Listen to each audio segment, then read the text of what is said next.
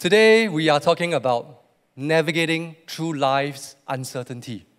With Jesus as our hope, our anchor, and the only uh, certainty in our life, how do we do that? You know, recent times especially, uncertainty is the state of the world. Many of our lives are continually being disrupted. Having, you know, some of your holidays, your work trips are being cancelled, and having BCPs and WFH, work from homes, and teleconferencing, and all these things, you know, just kind of like a, is the new norm right now. March holidays is next week, and some of you are having a headache because you're going to sit, you're going to be at home with your kids 24/7. Some of you are going to go nuts like that. And so, what to do now? Many businesses are taking a hit from COVID. Things are getting more and more uncertain. The world is sitting on its edge because we are unsure of how, how long this will last, when will we end, or it will go on even longer, or how. So that's why today it is a privilege to have Mr. Lucas Chow with us because Lucas here is, besides having lots of experience in very, various well known companies, and also he knows uncertainty quite a fair bit in his life, but he also is a very committed follower of Jesus. So, church, can you help me, wherever you're watching with me together, put your hands together to welcome Mr. Lucas Chow. The 2008 global financial crisis was considered by many to be the worst crisis since the Great Depression in the 1930s. While businesses were retrenching workers to stay afloat, one man led MediaCorp to survive the crisis without cutting its workforce. Let's welcome Lucas Chow, former CEO of MediaCorp, Singtel, and Far East Orchard, and chairman of Health Promotion Board, and hear how navigated through life's uncertainties and how his faith changed the way he sees work, wealth, and life itself. Good morning, Lucas. Good morning. Good to have you and with us. It's a pleasure. No, Thank church, you. let's give him a big hand again. Welcome him into this place. Thank thanks. you very much for having me. Yeah, thanks for being here with us. You know, let's start off with some light-hearted questions. I mean, we all know of the various things that you do and the positions that you hold. But what about you personally? Like, what are some, you know, the hobbies you might have, interesting experiences you might have in life, and you can just share with us. Sure. Um, I call myself an old man, but with the curiosity of a young boy. Um, my late mother, uh, she used to tell me that uh, all the toys she bought for me, uh, instead of playing with it, I will basically dismantle it and, uh, and, and find out what's inside. So I'm always very curious about how things work. And I'm quite a foodie. Uh, for those of you who know me, I enjoy uh, food very much. Um, Many of us do as well. Yeah. So uh, there was one stage I was very interested um, in coffee. So when I'm interested in something, I wanted to find out more about it. So I spent a lot of time, energy, and all that to find out about coffee beans, where do you grow coffee beans, you know, the Arabica, you know, the, and, and so on and so forth, and how do you roast them and how do you brew them. Wow. So I even bought um, quite a few of those coffee making machines, whether they are automatics or from, from fully automatics to fully manual, and I even bought the smallest espresso pot. How small is it? It was, it was actually for one cup, and you can actually carry it for camping or the travel wow. and things like that. So that, that, that's me. That's why I'm curious to find out. But the problem with me is that I also lose interest quite easily. So I lost interest in them, and, and most of them are, of course, you know, not used anymore. And at the end of the day, I found that this automatic machine in the morning, you just press the button, and then you know, espresso comes out, and that's the best. Exactly. And um, and then in my uh, in my uh, retirement, mm. all right, um, I venture around Singapore to find out what are the best hawker food that we have. Wow. Um, so you can imagine that because when I was working, it's hard for me to go and eat hawker food because you know hawker centers normally are not air conditioned, and I'm expecting to wear suit and tie when I go to work. It's very difficult to wear suit and tie to have hawker food no without taking a shower. So, um, so now it's like I'm back in the vengeance. You know, I go around Singapore and find all. So do you compile like a list? Uh, I should I should do that. Actually, right. somebody has suggested to me, All but right. maybe when I publish it, so I'll you can share know. it with us. And we can post it online for those of us who are watching online. Absolutely. Okay, but this is not the biggest takeaway for your sermon, our sharing here, right? okay. So watch that space. Yeah, you know, you have such a storied career, you know, in many senior positions in different companies. You know, maybe you can just walk us through the journey that you had and how was it like? Okay. Um, I'm, I'm really blessed actually uh, to be given so many opportunities um, in my career. Um, as you can see that, you know, I have been to uh, many industry and I held senior position in some of these companies. Um, and I'm not, I don't think that I'm smarter than any one of you here or am I well connected, you know, being born in Hong Kong and come to Singapore um, uh, in 1978 as a foreigner, I don't have the natural network uh, that many of you have. Um, and I, I, I, don't really, I don't really work harder than any one of you. So I really think that it is really God's grace that given me all these opportunities. So many of you know that I, I was the CEO or chairman for organizations and all that, but many of you will not know that I actually started as a delivery boy when I was in Hong Kong. I got my diploma from the Hong Kong Polytechnic, um, and then I went to do my degree in, in England. Um, and then I came to Singapore, uh, 1978, the National Day of 1978, uh, from England after I studied. And I started working in Hewlett Packard, uh, Singapore, as an engineer. I, was, uh, I had a very good career with Hewlett Packard.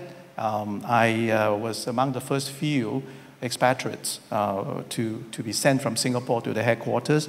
And um, you know, I still remember I, I, have a reserve parking lot, you know, just outside my office, while everybody is parking in a huge parking lot, right? It's almost like a soccer field. I worked in Hewlett Packard for 20 years, and then I moved on to Singtel, to MediaCorp, and to Far East uh, before my retirement. And then in my retirement uh, career, which is uh, right now, which is right now, mm. okay. Uh, you see, a lot of people think that you know retirement it's uh, it's like just you know have a lot of time in your hand, go fishing, go golfing, and things like that. But I'm going to tell you, it's quite different. Don't send the retirees to queue up for movie tickets or bak kwa during Chinese New Year. You know, because you see, for retirees, for people like myself, right, uh, we have not much time. So, so time is very, very precious to us. So, so we, we don't want to waste our time, okay? So time is very precious. So I'm always in a hurry. But in my retirement, uh, I've been involved in the marketplace ministry. Uh, so I initiated the Salt and Light uh, portal. Uh, right now, it's actually under a company called Thirst Collective. Uh, it's a non-profit company, and under the company, we also have uh, Thirst, thir.st as well. And we are in the process of setting up a Chinese portal. Uh, so, and also, uh, in my spare time, I'm helping out with uh, Salt Media, which is a cinema and entertainment company, and we have a cinema uh, in Capital Tower. Wow. Not many people would know that actually you are the one, the whole Salt and Light is your brainchild, and you know, you created it. And especially in recent times, it has been so helpful especially during the COVID season, where this is where we get the source of positive news among all the negative news, right? So really thank God for your your calling during this whole retirement time to, to, to do this and to champion this. We, we thank God for that. And of course, when we started, we do not know that it is for a purpose for such a time like this. Yeah, so it's so great. You know, today we are talking about navigating through life's uncertainty. And you know, with the whole situation of COVID 19 in Singapore, and we do not know exactly how things are going to be and in our conversation uh, previously, you are very familiar with uncertainties in your life. So, how do you make sense of uncertainties and the situation in your life? How do you navigate through what some you know, wisdom and advices that you can give all of us here? Um, sure. Let me, let me first start with um, uh, talking about uncertainty is certain. Uh, if I may just bring out the first uh, PowerPoint slides here. Uncertainty is certain. Our history has been telling us that the world is full of uncertainty. You know, uh, we can't really predict what's going to happen tomorrow. Uh, when I was preparing for this, uh, this uh, sharing and this interview, uh, the price war, the, the price war in the crude oil uh, just, just started. And within a single day, crude oil actually dropped by 25%. And of course, recent days has recovered somewhat, but it is still one of the lowest, you know, since 1991. And then, just as we thought that, you know, we have the COVID 19 and, uh, and all that, and you heard that uh, the, the, the, Wall Street, you know, the bull, the bull run literally ended 11 years of bull run. And we are in one of the worst time, even worse than the global financial crisis. The COVID 19, as an example, is a disease that many people, when, we, when it first started, many people, many countries thought that it is so far away. It's not going to affect me because it is something so distant. But look at it today. It practically turned the world upside down. So if, I, if you allow me that I would like to quote uh, some Bible verses uh, from the book of James, book, uh, chapter 4, James chapter 4, verse 14 to 15. You do not even know what will happen tomorrow. What is your life? You are a mist that appears for a little while and then vanishes. Instead, you ought to say, If it is the Lord's will, we will live and do this or that. I was heading a printer division um, in Hewlett Packard, Singapore. We were responsible for the design, manufacturing, and marketing of the printer. It's an entry level printer. Nevertheless, we have big dreams for this little uh, printer. So my engineers was, they, they were very, very clever. They were very brilliant. They, come out, they came up with a printing solution called the, called the mosaic printing. So you, you can imagine that if you have a picture, if I divide the picture into like mosaic tiles, and I print each of these tiles on an A4 size printer, and thereafter I put it back together like mosaic, I have a brilliant poster and even wallpaper. Just as we thought that, well, we deserve more bonus and more recognition, I was asked by the company to transfer the division and the product to somewhere else. I was asked to dissolve the division and find jobs for everybody. So me and my team at that point in time were scratching our heads and trying to process what, what is happening to us. Uh, but the consolation we took away was um, our experience in developing the printer and working together. There's something that will stay with our brain and it cannot be removed. Just as the saying goes, one door closed, the other door open. I think it is not, if it is not because of that, most probably I would have retired in Hewlett Packard and I would not be working in Singtel and MediaCorp. I want to share with every one of you here change is the only constant. Change is the only constant. Sometimes we needed that push in order to change. And sometimes it's the change that we desire to catapult us forward. Whatever it is, my conclusion is change is the only constant. And we find ourselves changing every day. My body is telling me that I'm changing every day. I cannot be running faster than you. And, uh, you know, and I cannot do a lot of things when I was younger. After the, again, if I may use the COVID 19 situation as an example, um, look at you right now. You has changed. Your social distancing is making you, you know, making the church worship service change. You, you wash hands, um, you know, more frequently. And in fact, um, I was, uh, some people share with me a very funny video of Prince Charles. Uh, some of you may have seen it on the internet. Uh, he stepped out from his car as usual, and he, and he reached out his hand and tried to shake hands. Then suddenly he withdraw, you know. It was so funny that he withdraw. Then he said, oh yeah, yeah, we're not supposed to shake hands. Then he walked to the other person, he reached out his hand again, and the other person just basically kept the hands to himself. Said, oh, I'm sorry, you know. So you see, just, just because of something like that, many, many things um, has changed. Before this thing started, I already uh, have some of these things like washing my hands. We, we, when we eat together, we use serving spoons and so on and so on and so forth. Not, not because I'm smarter than any one of you, but because you know, I went through the SARS period, and the SARS period also taught me a lot of lessons. I have changed since then. I know that uh, many companies right now is most probably uh, scrambling to, to, to implement uh, BCPs, uh, business continuity plans, and so on and so forth. But still, no one can predict what is going to happen, what is going to happen next. So un- uncertainty, therefore, is certain. So what shall we do then? Shall we then do nothing? My advice to you is that don't be a boy frog. The boy frog is talking about, you know, if you put a live frog in, uh, in, in water and you increase the temperature very, very slowly, you, the, the frog basically will be boiled alive. It is a metaphor to caution us to be aware of the even smallest change, the gradual changes around us, and pay attention to those kind of changes. Even though life is full of uncertainty, change is the only constant. And you want to prepare, be uh, prepared for it and you want to even take advantage of the change of the situation. But first and foremost, you need to pay attention to what's happening around us. I want to say that so, what are we going to do in response to changes, in response to uncertainty? I think you have to do, you have to make sure that you change in response to changes. Again, case in point, we talk about COVID 19. Interestingly, is that a lot of people do not want money because we always say that, oh, money is dirty, right? Literally, pun intended. But nowadays, you, you give people money, money, and people say, no, no, no, no, no. Direct transfer, PayLah, you know, PayWave, whatever pay, whatever form of not touching the money, because they know money has been transacted many times.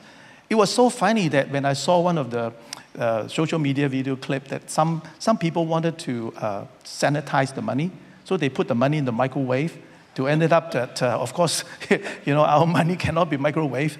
So it, it's ended at, at a loss. And people want to stay away um, from crowded places and so on and so forth. Just as we saw that many of the cinemas, uh, you know, even uh, uh, blockbusters and all that are being uh, deferred. The, the premiere has been deferred. Um, you know, travel has been delayed. Um, the uh, hospitality industry, the, the, the other industry has been affected. We are talking about tens of millions of people are being affected.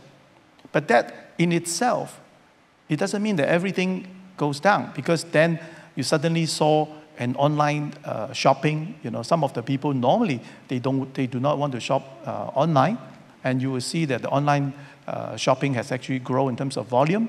Uh, online streaming, because although they cannot go to the cinema, but they still need to be entertained, right?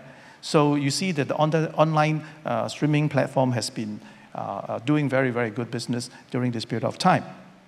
The Chinese word of crisis, we call it wei 危机 when there is danger, there are also opportunities. The question is whether you are prepared to capitalize on it. I'll give you an example. Even because of COVID 19, even very traditional churches right now has changed. They provide online streaming just like Hope Church uh, is doing right now. And some of them actually reported that their, their cell groups and their life groups uh, have more gatherings and more people are attending those, uh, those uh, gatherings. And they have actually seen more people attending their church services, including those uh, attending online. In commercial terms, we call this underreached or underserved market segments. So in times like this, we have to ask ourselves, are there any market segments that are underserved and underreached? I also want to share a little bit about preparedness at peacetime. So we have to practice um, at peacetime. How are we going to prepare ourselves at, at peacetime? In my humble opinion, the best time to get ourselves ready for crisis is as peacetime. Many people look at Singapore, the way that we respond to this COVID 19 situation, and say that, wow, you know, we are gold standard and, and our hospitals are doing, uh, handling it very well and all that. If I may quote some of our ministers during a recent interview, he said that it is not by chance. It, it was a long preparation to, be, to prepare our healthcare system, our healthcare professionals. We talk about ventilators. I mean, because COVID 19, some of the patients will require ventilators. And ventilators, you cannot just go out there and get it when you need it. We have sufficient to handle the situation in Singapore is because we were prepared. I used to do something of what I call scenario play. Some of my colleagues may remember this. I used to have a war room very close to my office. So in that war room, we gather information about com- competition, about the environment that we are operating in, internal as well as in, uh, external uh, environment. Internal environment can be, be, be due to uh, turnover rates or whatever. So we put all this information in the war room and we look at them and we play out various scenarios. What if that this happened? What shall we do? But of course, you know, um, it, it is hardly uh, any chance for us to hit this thing on the bull's eyes and say that whatever scenario play, it, it came out exactly as it is. Very rare, very rare. But that goes to show that, but that, that's helpful because when you do the scenario play, certain elements of the scenario play may come out.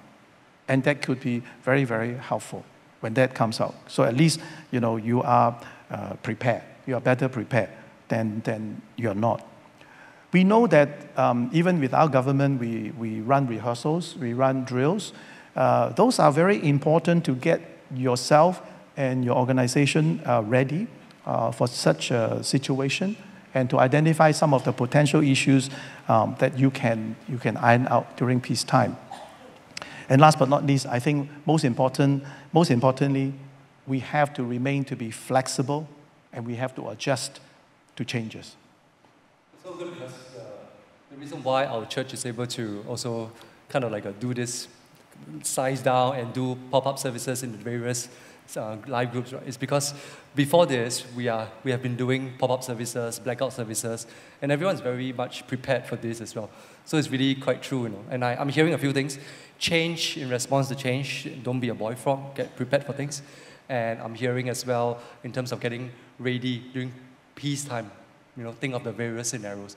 So these are really good. And I want to understand more as well in what difference does your faith makes. You know, your relationship with God and your understanding of God. You know, how does how do you navigate through life uncertainties with God and His values in your life? What some experiences you can share with us? Sure. Um, I I wasn't a Christian. Uh, you know, when I was, I, I, my family, you know, I was born into a family that, you know, ancestral worship and things like that. So I wasn't a Christian until much later part of, my life. And when I grow up, um, the advice I always hear is man up, man up. Man up. Because I'm the, I'm the eldest boy in the family, you know. Um, so being the eldest boy, you know, you're expecting to, you know, kind of carry the family flag and, and so on and so forth. So whenever it comes to uh, problems like that, you know, you man up. I still remember um, that before I, uh, before I come to know God, uh, the way to deal with uncertainties and adversity is basically bite my lips and somehow or other find strength to continue um, and, and overcome and just, just carry on. And that's what many people are doing now. Just go through it. Right. We will, overcome this. You know. That's right. Um, but then, ever since I be, uh, become a, became a Christian and come to know Jesus, um, I, I can slowly trusting God with my problems.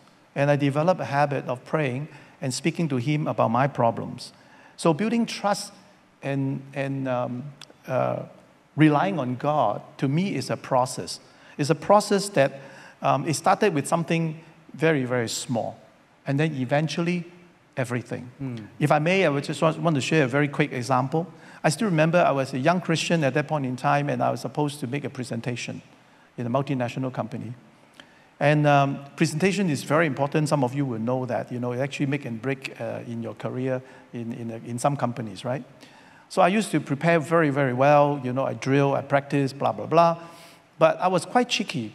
Since I, be, I was a young Christian, I said that since people tell me that I can rely on God, so I finished preparing all my presentation. I, instead of practice, I just laid it on the table and I say that God, if you are so good, you're going to guide me through. And I go to sleep. So I was tired. Well, I, this is a very bad example. We're not supposed to test God, of course. that, but to my surprise, you know, the next day when I went through the presentation, many people was asking me, "Who's your coach?" Because you're using um, examples and using terminologies that, that we, you know, I, we, we never heard you speak about. So in my heart, I was too shy to say that it wasn't me. It was somehow God. Um, I, I, was too shy to share at that point in time that, uh, that, that there was God that there was uh, guiding me through. So every time when I find myself in situation of uncertainties um, and, and so on and so forth, uh, I, I had developed uh, a habit of going to God in prayer and asking for um, uh, advice and wisdom. Now, you see, when you move uh, in certain position, and sometimes our problems cannot be openly shared. And I just want to share with you one particular example. During the last global financial crisis, I was the CEO for MediaCorp. And you know that at that point in time, many companies were badly affected. Retrenchment was a very common practice.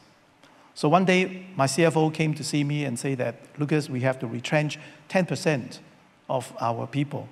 If not, we will not stay afloat in the black. So it really, it really burdens me.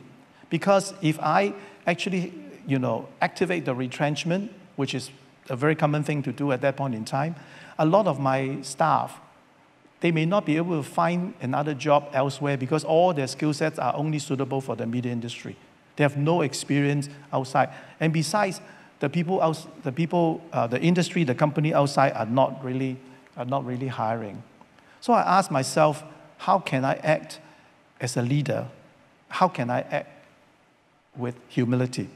How can I act justly? How can I act with compassion? So I was at my wits' end, and I remember at that point in time, you know, I, I really committed a lot of my time praying and seeking for wisdom. Then the idea of the MediaCorp day off uh, was born. The idea was simple. I mean, everybody make everybody work 10% less and take home 10% less. Of course, the idea was simple, but the implementation was not. But with God's grace, we were able to survive the global financial crisis uh, without any retrenchment. Wow, that's amazing during that time. Hmm. Thank you. How, how was it challenging that time? When you say that the implementation was challenging, it was tough? Because, you see, the common wisdom at that point in time, even the, some of the board members uh, was, was questioning, why am I not retrenching? Just retrench, right? Just that's retrench, because that's a easy, there's a clean cut, you know, and, and uh, many, of, many of the company also took that opportunity to right-size themselves because they may be carrying a lot of the load. So um, and of course, you can imagine, right? It, it, MediaCorp was, it, it's a company that we provide uh, free-to-air television, radio, newspaper, you know, etc. You cannot have a blackout screen, screen on television, especially during such a time, uh, you know, uh, like that. The radio station has to go on. We still need to do, do news coverage. So we are basically asking everybody to, to do 100% of their work in 90% of the time. Wow. So it, it, was, it was very challenging. I still remember the first week when we did that, uh, the canteen was closed. But some of the staff have to go on because the news has to go on, the broadcast has to go out and all that. And I was back in the office, right? So the people come to my office and say that, boss, the canteen is closed. We have no food. So we, we drove to the famous Farrer Road Hawker Center and uh, packed the food back for our colleagues. Nasi so, lemak. Nasi lemak, yeah, and that kind of thing. So Food I mean, I know, yeah. yeah, I mean that that that that that go to show that while the idea was simple, but the implementation, to getting the support, getting the logistic going and all that, it took a bit of uh, um, uh, fine tuning. But what motivated you? Why didn't you just like you know just retrench? You know, what kept what kept, what why you have the heart to really want to keep everyone together and what were some effects that you saw you know after that as well? Ever since I became a Christian, um, I model after Jesus, the model of um, servanthood leadership. You are the leader, you are like a shepherd to the flock. My job as a leader is not only to provide return for shareholders and, and, and so on and so forth. My job is also to look after my flock, my people. And these are my friends, these are my colleagues. So it, will, it is every time when you need to make a decision of letting somebody go, it's a very difficult one for me because they are my family. They are my friends. You see them every day. How, how am I going to tell them that I'm sorry, you, you know, you are one of the 10% and you have to, uh, have to go? And besides, I think during that time, many of them actually has informed me that they have family members had already been retrenched. And some of them are sole breadwinner for the family. So the burden um, is really on me. So I, I, want to just maybe share with all of you. Some of you really desire to be, you know, the CEO or the bosses or whatever it is. The bigger the job you have, the more responsibility that you're going to have on your shoulder.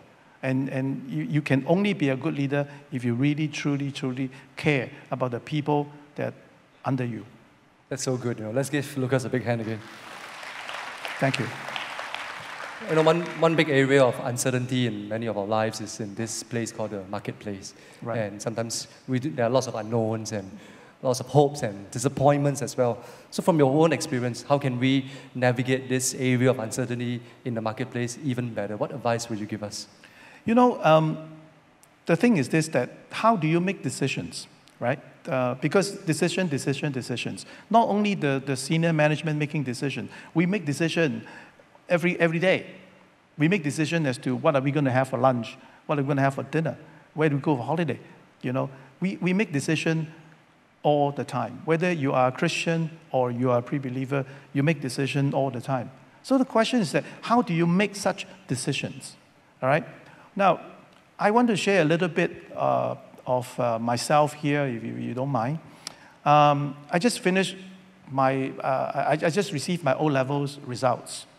So I wasn't a Christian at that point in time, and I do not know whether I should go to do engineering or should I go to medicine, right? So they're two very different track.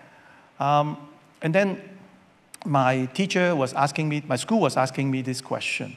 So I took out a coin, a, a coin in my pocket, I flip head or tail, you know, and then I ended up doing um, engineering. No way, really. You flip it. I flip says, it. I, I flip engineering, it. You go. So in front of my teacher, my teacher also didn't stop me. Uh, maybe my teacher sh- should be wiser, but my teacher didn't have. I, she didn't stop me. So she talk, saw me took out a, a, a coin from my pocket. I flip it and pop. You know, so engineer. Wow. But actually, I don't think I should be engineer. I don't think I should be a doctor, because that is really not my area of interest. But that's basically you know, decided know- my career, and I became an engineer, and the rest are history. That's what they say. But again, then what is the difference between now that I, uh, I became a Christian, right? Um, so how do you decide? How do you make decisions? You know, um, I remember at that point in time, uh, I was with I was with Singtel. I was with Singtel. Some of my colleagues are, are, are here. Um, you know, I was with Singtel and I was doing, you know, very good because, uh, you know, the business is, is doing well. Uh, you know, we, we, we have very good relationship with everybody, you know, the colleagues and then my bosses and so on. So I, I was, I was just having a great time. And then um, we just celebrate, we were just celebrating a turnaround of our business. You know, it was a very challenging time for that year, but, you know, the team actually managed to turn around. And we were in, in Malacca, in Equatorial Hotel celebrating and so on and so forth. I have a phone call, and uh, some of you nodding your head because you remember. Uh, I, received a phone call. And uh, there was some executive search firm and say that, Lucas, you know, we want you to go to MediaCorp and uh, be the CEO. And I remember laughing, ha ha ha ha ha, it's a joke. That was before they throw me into the pool. But then I get, you know, credit to the, to the search firm. They keep on calling me, keep on calling me, keep on calling me. And at that point in time, I, thought, I, I pray about it, and, I, and, and this time I didn't flip a coin. This time I, I went to see my pastors. And, and you know, the pastors will always tell you that pray about it, pray about it, pray about it, right? So, so of course, my, my pastor is also my confidant, and uh, he said, that, go pray about it. I said, I did, I did, I pray already, so how? Flip then, coin then he, he came back and said, okay, let's pray together and all that. And after praying, um, he gave me this, this sentence. He said that, look, media is a very important uh, industrial segment. Uh, the CEO will control, you know, what's, what are the contents going out and so on and so forth. Isn't it better to have you, a Christian, at the head than somebody else? But after that, he said that you still go home and pray about it. Fine. So, so the, the change, the, the difference was I, I eventually, you know, um, agree that, okay, um, I will do it because moving from Singtel to MediaCorp was a sacrifice, both in terms of financial and in terms of other things as well. So, so I have to sacrifice, it was, a, it was some sacrifices that I have to take. But I didn't realize at that point in time, perhaps, the reason of going to MediaCorp was for such a time like this, for the global financial crisis, Wow. to save jobs. Wow, so God has a plan and lead you as you follow I, Him. I believe. I believe God has a plan. Amen. You know, Right. so flipping coin versus following God and thinking what He wants and you know praying through. I think that's amazing. Right. Why don't you share with us more about you know how do you came to know God? I think we would love to hear about your faith journey. Something that maybe not many might Sure. have heard personally. How do you came to know Jesus and all these things? Yeah. All right. Um, I, will, I will title it MIC 123. What is MIC? MIC 123. So, you know, because we have COVID 19 and all these acronyms and all that. So I thought that, you know, I should use some acronyms of MIC 123. The first MIC is Man in Control. I came from a very humble family background. Uh, you know, we don't have much money growing up, so we work very hard. I still remember uh, in uh, 1978 when I, when I came to Singapore, what I had at that point in time is just a return ticket to Hong Kong and not more than a few hundred dollars in my pocket. I worked very hard. I saved money. I invested my money wisely. And, um, and, I, and my career was doing quite well in, in, in HP. So at a very young age, at a very young age, um, I already up there, you know. Uh, I remember when I returned from the US after my expatriate assignment from the, from the US, I bought a pretty big plot of land with a house in the west coast of Singapore. I was not happy with the house. The house is not very old. I, I tear it all, I torn it all down, rebuild it to my specification. I was already driving a European car. So I was living the Singaporean dream, you know. So I was, I was really happy. I was, uh, you know, career is doing well. I was in good health and so on and so forth. So I believe that all this uh, was because of me. I worked very hard for it. And therefore, this is something that uh, I attributed to my effort uh, and, and, and, my intelligence. And, and that is why I call this phase man in control. That's MIC 1. Just as I thought that I have it made for the rest of my life, disaster hit. One day, my first wife called me from the office and said that she's not feeling well. And we were young, and say that, why don't you go see a doctor and, um, and uh, take a look at you? She did. But weeks later, she still complained that, you know, she's still having this pain. So I say, in that case, you better go see a specialist. So she went to see a specialist. And when the result came back, when she called me with the result, we were both shocked because she was diagnosed with an advanced stage of liver cancer.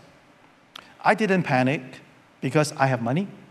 I have connections at that point in time because I know some of the best oncologists in Singapore. So I say that, don't worry, we will fight it and, and we will be fine. But when the oncologist told me that she don't have much longer to live, I couldn't believe it. I said, there's no, no way, no way. So we went to Mexico for alternative medicine treatment but she didn't get better. And shortly after she came back to Singapore, she passed away and left me with our young son. So I was MIC 2, man in crisis. I was man in crisis. I started to ask myself what happened. I started to ask whether there are a divine being in control. It is obviously something beyond my capability to even change or manage. It was a very difficult period of time because I have to manage, uh, manage my work, balance between my work and to look after my son. Because I would get up very early in the morning, make sure that he has breakfast, go to school, then I, I go to work. I work very hard during the day. I will, I will come home, make sure that he has his dinner, do his homework, tuck him to sleep, and, I go, and many nights I will go back to office and work. And the cycle just continue, continue, continue, continue. I'm starting to ask myself whether there's other meaning in life. What exactly is this life all about? Who give us this life? Where we come from? Where we going after we pass away? So I have many, many questions, and that led me to actually look into various religions, you know, um, including churches. And I think at that point in time, uh, somebody actually took me to, to, to, to church.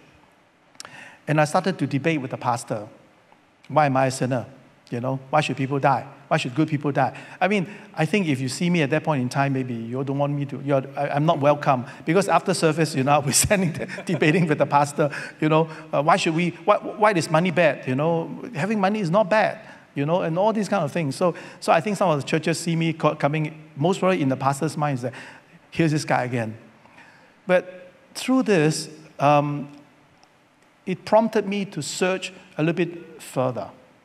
That am I really in control? Are we really in control of everything? Or there's somebody else up there that is in control of everything? So I want to go back to now the final phase. There was one Friday night. I was, I was tired, but I couldn't sleep. All these questions keep coming up, keep coming up. And very early in the morning, I'm supposed to take my son to his school for his ECA. And I know that ECA, you know, you have to wait. You have to wait uh, for a while. And uh, I, I, need, at that, at that, point in time, you know, uh, internet data, mobile data is not so readily available. So I reached out to something that I wanted to bring along, you know, to occupy myself. So I, I saw on, next to my bedside, there's a book that somebody gave me, a book. The, the title of the book is that When God Doesn't Make Sense. Obviously, from some Christians, you know, when God doesn't make sense. Okay, fine. I mean, to me, that's a great title because, you know, God, you really doesn't make sense. If you exist, you know, why is it all these things happening?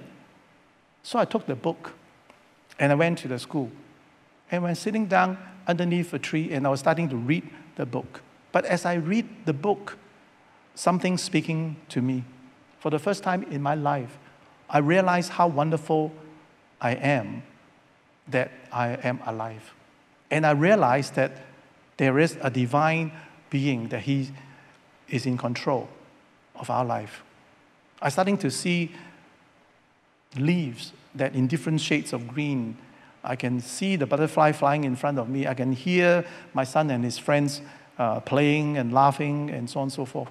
And at that moment, I accepted that there is a God and He is in control. Wow. So that is my, my third phase, which is man in Christ. And I want to end this is because you know, do you want to know who gave me that book? You want to know? Who? My current wife. She's the one who bought me the book, brought me to church, uh, lived through those periods of time that I was searching, and here I am. So, wow. MIC 123. God use you. It's so amazing to hear how eventually you lay down your pride and your self sufficiency and turn to Jesus and make him your Lord and Savior. So, what are some, I would say, you know, closing thoughts that you might have maybe as we go through life and you know, it's really unknown, so many unknowns, but what's something that over the decades of living you have grown to be certain about? Okay. So if I may have my last PowerPoint slides, um, where do you find your anchor? Where do you find your anchor? A very valuable lesson to me to learn is to trust God and to make Him my anchor and my rock. Not only that He is all wise and He's all powerful, He's also consistent and He's faithful. He's the same yesterday, today, and tomorrow. And I know that He loves me. In a world that is full of so many uncertainty, I know that God is the only certain because He never changed. And I want to have a shout out to you today that for those of you who have yet to know this awesome God of ours, and you have not accepted Jesus into your life, there no better time than now to find out more.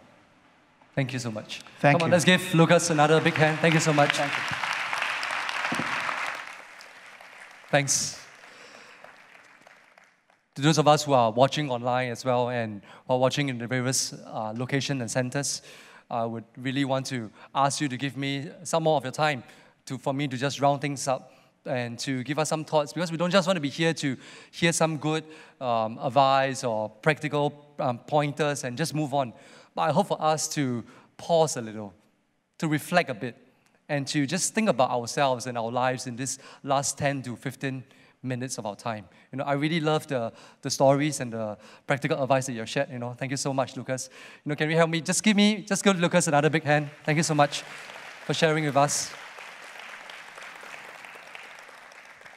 You know, none of us here, we, none of us like uncertainties.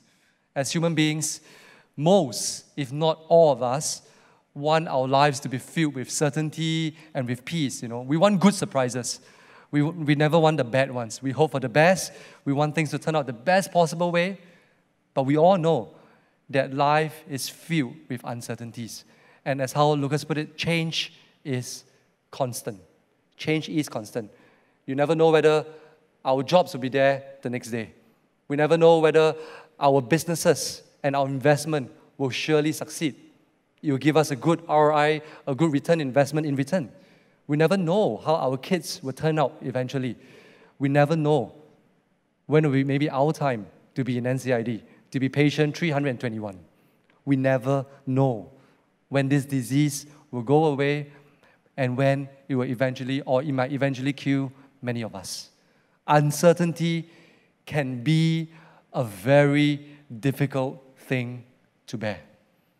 However, from the Bible and from many live examples around, I have seen and I know that uncertainties are God's opportunity to touch us, to reach us, and to show Himself to us. And I'm so thankful that Lucas, you shared so vulnerably to us about your experience and your time during your crisis time. It's, it's so, so touching that. But when you look back at his story, you will see that how God beautifully turned this very uncertain time in his life into an opportunity that he can take a pause. He can reflect on things. He can think about some of life's hardest and greatest question that maybe in the past, many of us, you never really consider these questions. And I'm sure that many, maybe in our midst here, there's some of you here, you have come into a relationship with Jesus during your most uncertain time in your life. Maybe some of you here, you are really going through a very challenging time. You are going through a lot of stress, anxiety, a lot of pressure, not knowing what's ahead of you, maybe in your family, with your children, maybe with your own health, maybe in your finance, and you're all worried. I mean, and maybe as we look at this whole COVID 19 thing, as you read through the news, you get a bit of anxiety as you read through the news that, wow, how things, how when things are really going to end. The world that we live in is really so uncertain. You know, never can we imagine even soccer can take a standstill. And those of you who are Liverpool fans, God bless your soul because you are going through the most uncertain time in your entire fanfare life. You know, Pastor Daniel, we'll keep you in prayer. You know, things can things can really change. You know, it's so challenging. But on a more serious note, on a more serious note, maybe, maybe God is using this uncertain time in your life to cause you to ask certain questions about life, about yourself. What do you, what do I truly need in life? Where do I go after this life? What else can I hold on to that is the most certain? What is my anchor in my life? What is life really all about? Is it really just about pursuing material gains, seeing our kids grow up, traveling around the world, and ticking off our bucket list? Is there really more to life than this? Who is the ultimate giver and sustainer of life? And maybe some of us here, during this uncertain time, it is a great time for you to pause and to reflect and to think about some of these questions. You know, one of my favorite time of the, of day is to put my son to bed because that's the time that I can have a great conversation with him. I can pray with him, and he doesn't run around and just do all sorts of nonsense, but he can sit down and have a good conversation with me. So sometimes during the night and that, that, those times, he asks me some of the most intriguing and most interesting questions that I can hear in life. And he asked this recently, he asked me this question Where do we go after we die? Do we become like mummies? Because we're reading about ancient Egypt and what they do is that they wrap the people up in mummies. So he's asking me, do we become like mummies? You know? So kind of interesting question. There was once he asked me, and that's our that's that's him. And at the corner there's a bright spot. That's not a street lamp, right? That's the moon, okay? he asked me this question: Why is the moon white? I mean, it's quite intriguing, right? I never thought of it. Like, why can't it be purple, rainbow, pink? You know, why is it white? He was asking me that. And just very recent, he asked me this question that I was quite taken aback. He asked me, Papa, why do people pray to the wrong God? I was quite taken aback because I'm not sure really how to answer him. Like, there's a lot in that question that he's asking. And, you know, I was just stunned. You know, even like how a child wonder and ponder whether is there God in life. Maybe some of us, it is time for us to really think about that. You see, in times of uncertainty, we are well positioned to see, to see our own inability as human beings to control life. We will see that life is really beyond us to predict, to manage. And in times of uncertainty, and I find it so true, especially hearing from Lucas today, that it is a time that we can lay aside our pride, lay aside our contentment in life, and begin to seek God and to think about God and to think about life, who He really is. And I'll tell you today, even those of us who are watching on screen, that the God of the Bible is the Creator God. The God of the Bible is the God who gives us life. He is the God that created the universe and everything in it. He is that big, powerful person out there. But not only is He that, He is also a personal God. God wants to know you. God wants you, or rather, God wants you to know Him. He has already known you. God wants you to know who He is. He wants you to have a relationship with Him, to love Him, and to do life with Him. And only God knows what life is truly all about. And today I want to tell you, God is reaching out to you. He's reaching out to you, to each and every one of you. He knows you more than anyone else on this earth. But what stands between you and Him today is this thing called sin. You know, many, many of us might understand sin to be something that's like doing wrong things or doing bad things. Things like cheating, lying, doing unloving things to someone, thinking lustful thoughts, pride. Most, all of us in some time or another in our lives, we will have done some of this. But you see, sin is more than just what we do. Sin is that thinking that and that believing that we can do life all by ourselves apart from God. Sin is thinking that we can handle life on our own, that we don't need Him, we reject this relationship with Him, and we don't care about who God is. That is sin. At the heart of it, it's not about whether we do more evil or we do more good, as long as we think that we can live life on our own, all by ourselves, we are good on our own, that is sin.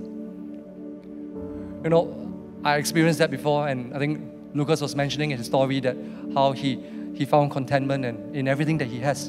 And why do I need him? Why, why am I sinful?